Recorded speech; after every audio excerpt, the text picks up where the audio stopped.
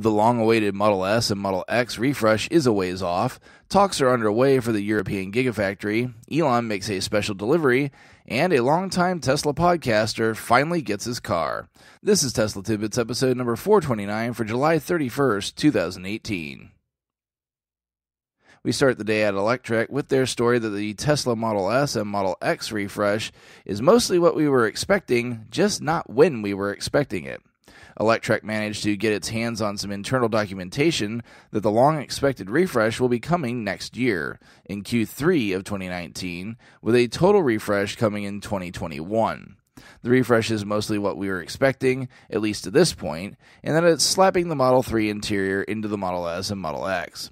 The one big difference is that the Model S and Model X will retain the binnacle, giving them a fairly big distinction from their little brother.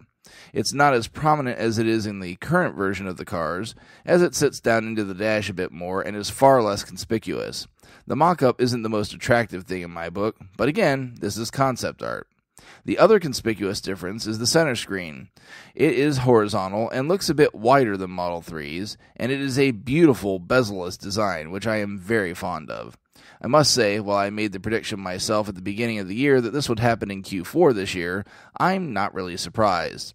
Given the issues with Model 3 ramp up getting to speed, I understand the delay, which I was certainly not accounting for myself. Check the full stories to get the concept art and decide what you think of the modifications for the bigger cars. Teslarati gives us the next story on the next Gigafactory to be built. On the heels of the China announcement, competition is heating up for the European Gigafactory, which we also expect to be announced this year. Talks are only in the very preliminary stages, but several locations are vying for the honor to host the factory. Officials from the Netherlands have confirmed their plan to nab the plant, as there is already an assembly plant in the country. Not to be outdone, Germany has two different locations competing for the plant. Rhineland Palatinate, which happens to also be the home of Tesla Grohmann Automation, which is the automation company that Tesla acquired last year, could be a leading contender for that very reason. Ralph Schleimer, a state official, told the Wall Street Journal that they've made their case. Quote, we have done everything possible to assure that Rhineland Palatinate is in the competition for the plant. End quote.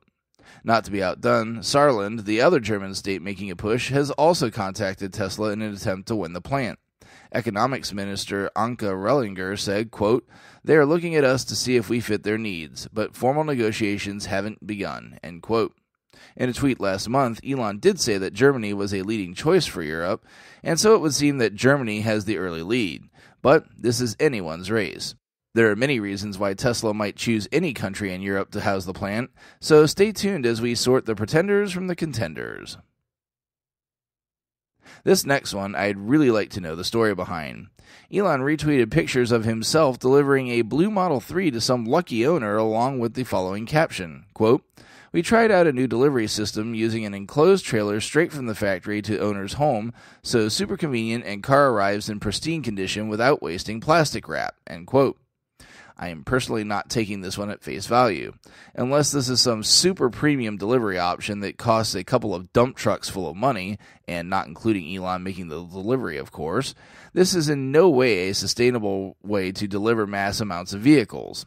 I suspect there is more to this story than we'll likely ever know. And even if true at face value, how do you be- get to be the lucky owner? I guess I could see Tesla being the kind of company to just randomly pick a new owner out and have Elon show up at their house but I find it far more likely that there's more to this story.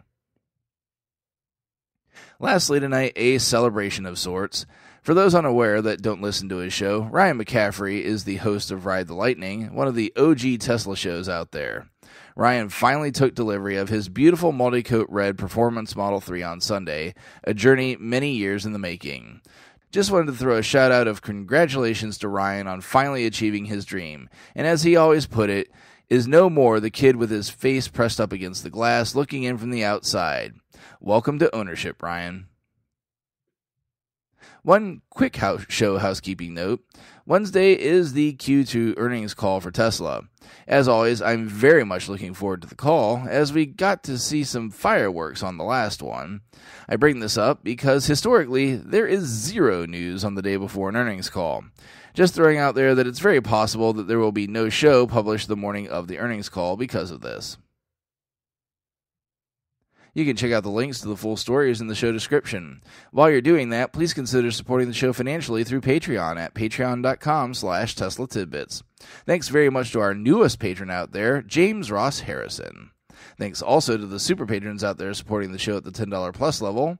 They are John Waltower, Drew Schuyler, John Waller, Mark and Sarah Thomas, Ryan Scarborough, Lee Sweet, William Henry Crew III, Dory and Steve Guberman, Bruno Condici, Joey Boots, Ralph and Cheryl Waterhouse, Adam Raymer Brown, Megawatt Photovoltaic Development, Todd Sullivan, Robert Healy, Mitch Long, Zortec LED Canada, Morven Ogg, Blake Thompson, Raymond and Deborah Malkowitz, T Sportline, and Michael Pastroni.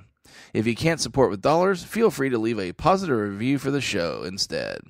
If you have feedback for me, as always, the best way to be heard is to tweet at Tesla Tidbits and use the hashtag AskTeslaTidbits if you'd like your question to be considered for the show.